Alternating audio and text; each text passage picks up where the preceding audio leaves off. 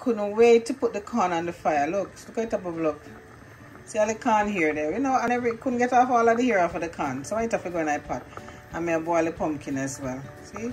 Look how the pot of bubble. Whoa, pot of bubble here, man. Look. Pretty not oh. you? Corn, pumpkin. Whoa, look on the corn. And dumpling. What I'm gonna eat this with? I'm gonna have this with some and salt mackerel.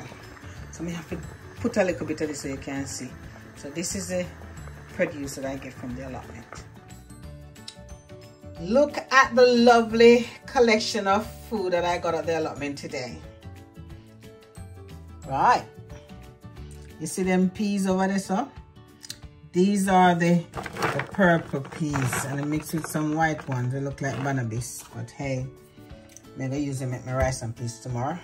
I get a nice, a nice cabbage, firm cabbage. Look at that, see? Cabbage. What is the corn? Look at the corns. I love corn really. I love corn so much. I'm to take them and boil. Some of them are very hard. It's not even worth boiling. So I think I may have to um, grate some. I use some to make corn porridge. Who remember that?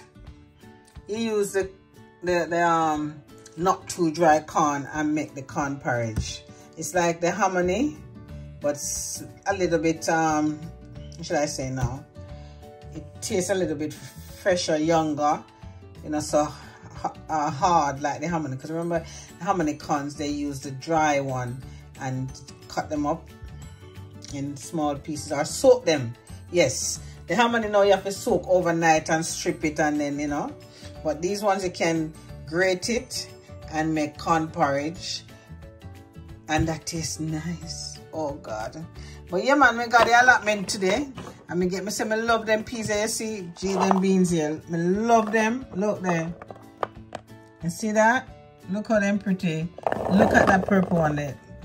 And the black one. Me say, one year we make soup and I gave uh, a friend of mine visit. And I gave her some soup, um, some of this soup here. And she never stopped talking about this soup. This peas here, that, that dark color peas here. OMG is very, very nice. So some of these corns, you, know you how to know how they're hard? You feel the, the, the kernel and you can tell that this one is too hard, that one hard.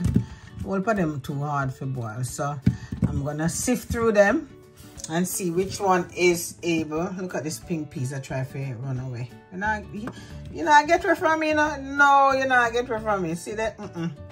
So the cabbage, me get cabbage. Nice cabbage.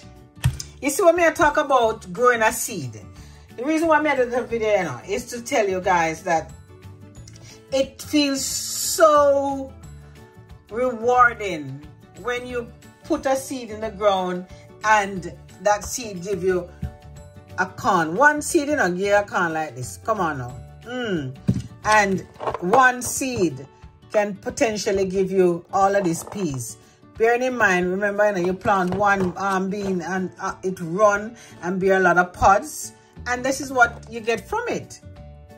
So I will forever advocate, you know, be an advocate for growing your things naturally and organically.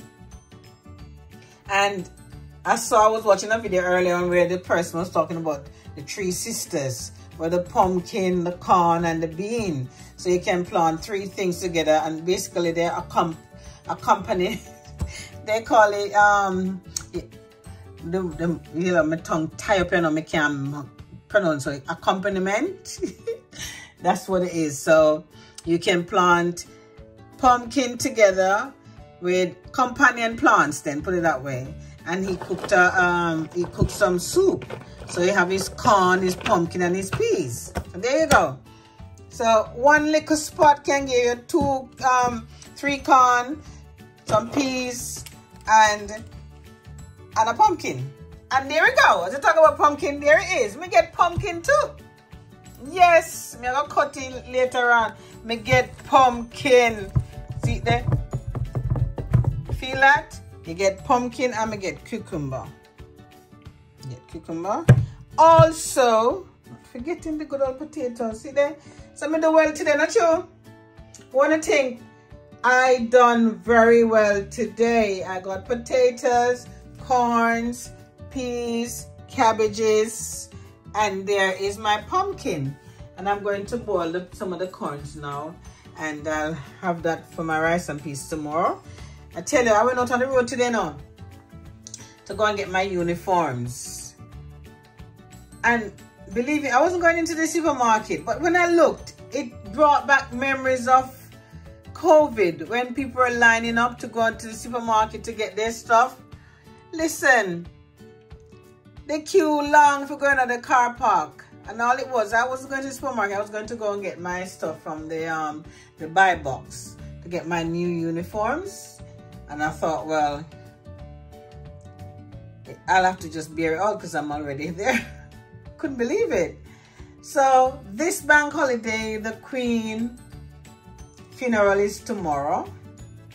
R.I.P. Queen Elizabeth II. A lot of people are taking advantage of um, the fact that it's a bank holiday tomorrow and they're going to stock up and cook and I mean, it's celebrating her life as well. Because back home in, in Jamaica, we have the repast where we cook and do also. So I think people are going to do that kind of thing, you know, after the funeral. Like probably eat in between or eat after, eat before, anything you want as long as they have food. And I think that's exactly what the um why the supermarket queues were so long today. But what you guys having tomorrow? Mm.